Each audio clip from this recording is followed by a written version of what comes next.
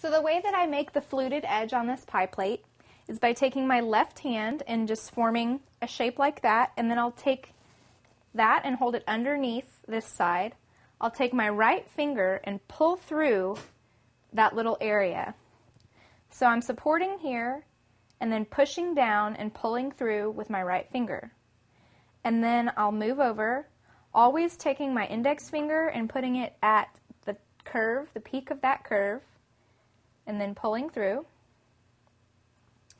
And just continue to do this all the way around.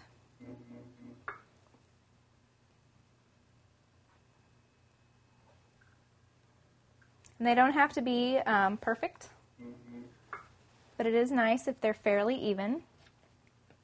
If your finger starts to pull on the clay, just put a little bit of water on there so that it'll run smoothly over that area.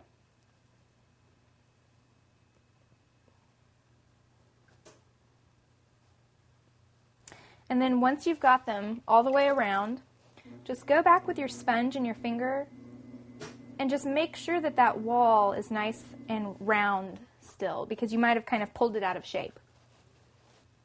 So once you've done that, take your hard rib, push it against the bat, and move it towards the base of the piece to make a nice undercut. And then set that aside to dry before you trim it.